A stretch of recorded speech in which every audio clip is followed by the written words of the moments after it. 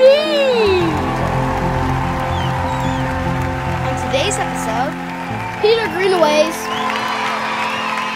A Zen Two Knots.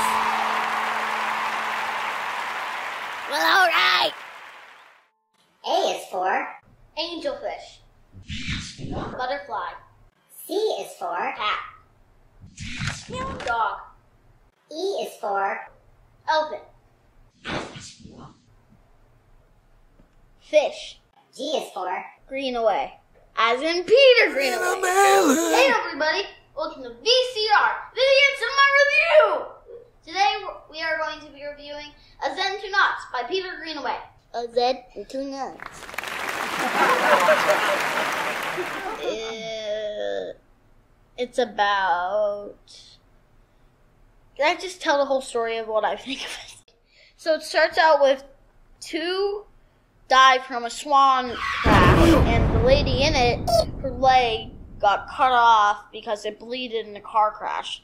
But she didn't die, the two wives did. And then the boys, the brothers, are, are doing different things because they missed their wives. The guy with the brown hair, one who's watching animals decompose na na na na na na na na na. after they die.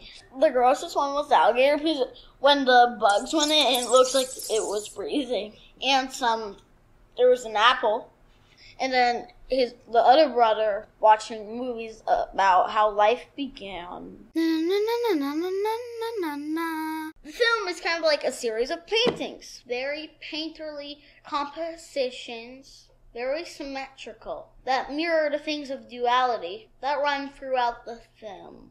Every scene is one big shot, very carefully composed, very carefully lit, where all of the action takes place within the frame, instead of being reliant on the editing to tell the story. Greenaway paints each scene within the frame, calling mise en scène, meaning the action happens in the frame, not between the frames. It has recurring themes and motifs like twins, like twins playing cards with other twins, while pictures of twins are on the wall. And there's a lot to do with symmetry and the idea that we ourselves are twins. We have two arms, two eyes, two legs, two nostrils, two ears. We are twins of ourselves.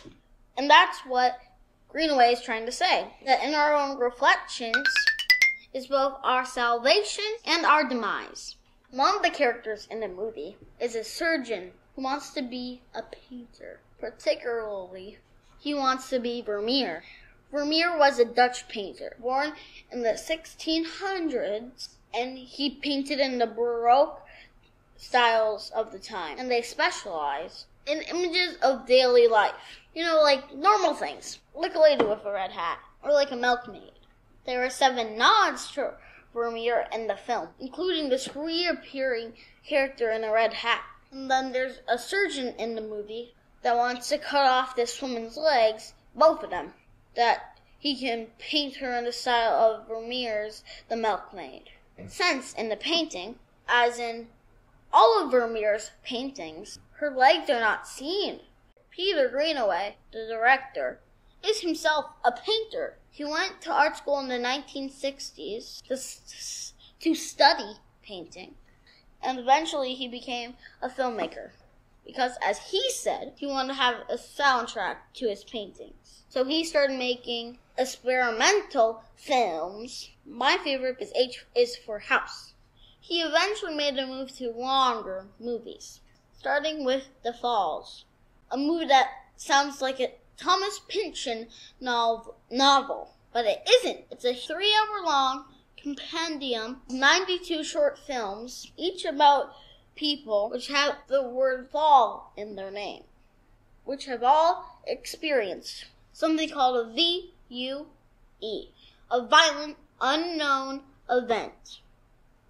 It's a very weird movie, also very good.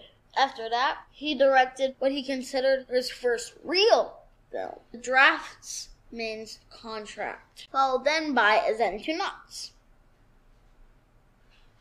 which we are reviewing today. Let me just start by saying this movie has everything. I'm talking swans, yo. I'm talking swans. I'm talking twins. I'm talking twins. I'm talking zebras. I'm talking a lady with one leg. I'm talking a guy eating broken glass for breakfast. And when he's asked, what is he doing? He says, having breakfast.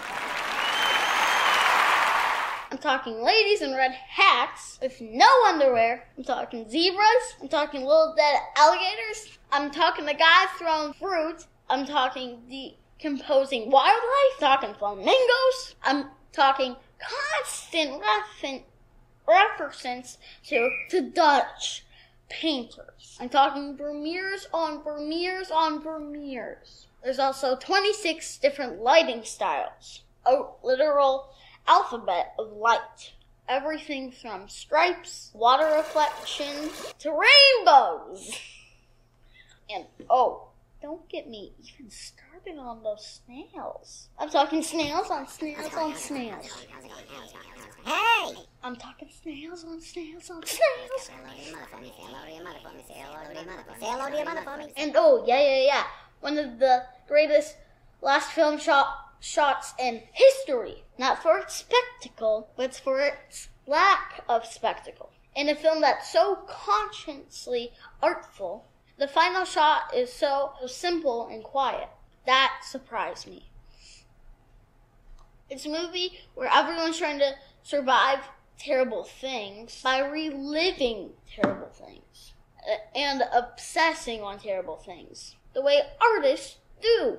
It's a movie where grief itself is a death sentence. It's not just the person who dies, it's the people they le- leave behind and how they suffer that this movie is concerned about. As funny as it is, and that, as self-aware, as, as it is, it's genuinely moving.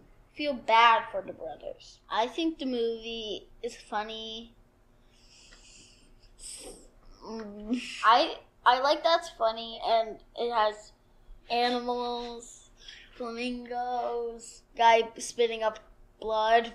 I also like when he throw that blonde guy in the movie throws the ball of fruit on the lady. And I also like the pink hotel room with the bathtub on top of the rug. Yeah, I like the little girl and the baby. I really like the ending because then it explodes with all the snails. It's a wonderful film, and I liked it a lot. I give it five shabooms. Shaboom, shaboom, shaboom, and shaboom because I already said one of them. So five. I'd say see it. Seek it out. It's available on Blu-ray. You can also get this cool book about it, which has the screenplay and a short interview with Peter Greenaway. So, thanks for watching, and don't forget to like and subscribe. And by the way, one more thing. Peter Greenaway, don't kill yourself when you turn 80, because you're great. And we need you. We want to see what kind of movies you make when you're a hundred. Because you're the only guy out there who thinks cinema can be more what it is. So please, stay alive. Kiss. No. I'm not talking to whoever's watching it Sometimes I'm my dad. He's being weird.